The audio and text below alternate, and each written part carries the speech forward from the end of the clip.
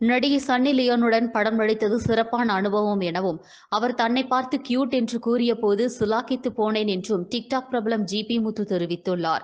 கோவையில் தனியார் நிகழ்ச்சி ஒன்றில் பங்கேற்க வந்த அவர் செய்தியாளர்களுக்கு பேட்டியளித்தார்.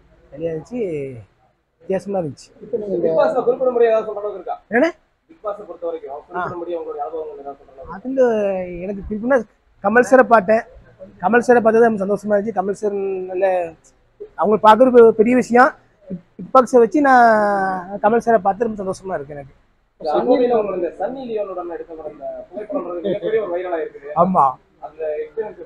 இந்த சன்னி லியோ வந்து ஏன்னா சன்னி லியோ வந்து முன்னாடி வந்து எனக்கு வந்து என்னென்னா இந்த லெட்டர் படிப்பேன்.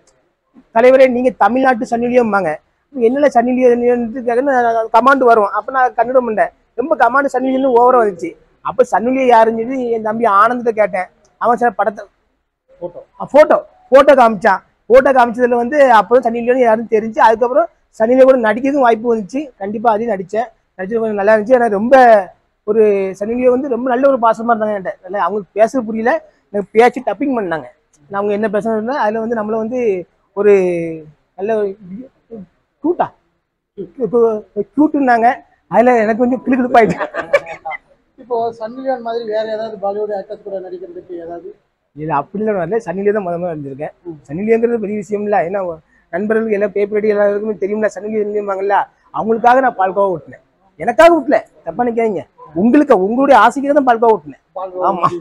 இப்போ நிறைய பேர் கூட இந்த டிக்டாக்ல எல்லாம் நிறைய பண்ணியிருக்கீங்க இல்லையா? அந்த ஆமா. மாதிரி சன்னி லியோன் என்ன பேசுனீங்க? ஏதாவது பண்ணுவீங்களா அவங்க பேசுறது புரியலையே எனக்கு.